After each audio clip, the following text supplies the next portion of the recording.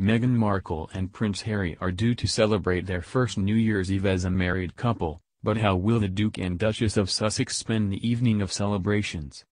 Meghan and Harry have had an eventful 2018, marrying in May, touring the Commonwealth in October and announcing they are expecting their first child. It will be an equally eventful 2019 for the couple, who are expecting their royal baby in the spring. The Duke and Duchess spent the Christmas period with the royal family at the Queen's country home in Sandringham. How will the royal couple spend New Year's Eve?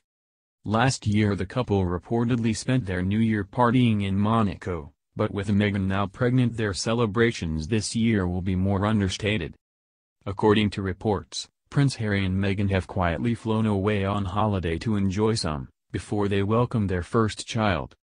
Meghan has been seen in recent weeks cradling her growing bump, and admitted earlier this month she was feeling very pregnant.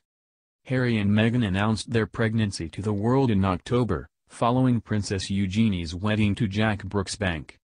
The Duchess has also suffered from morning sickness during her pregnancy, although not to the extent of Kate Middleton who, with hyperemesis gravidarum or extreme morning sickness, the latest image of a glowing Meghan came on Christmas Day when the royals visited St. Mary Magdalene Church in Sandringham for their annual Christmas service. Meanwhile, Prince William and Kate often spend their New Year with the Middleton family at their home in Berkshire. As the Duke and Duchess of Cambridge spent Christmas with the royals it is likely they will spend New Year with Kate's family. Kate and William have also had an eventful 2018 welcoming their youngest child Prince Louis on April 23. The Queen and Prince Philip are expected to stay at their country home in Sandringham for New Year's Eve. They have reportedly invited other members of the royal family to join them. Queen Elizabeth II will more than likely attend the annual New Year's Day service at St. Mary Magdalene Church. Whilst Prince Charles and Camilla could spend their New Year's Eve in Scotland.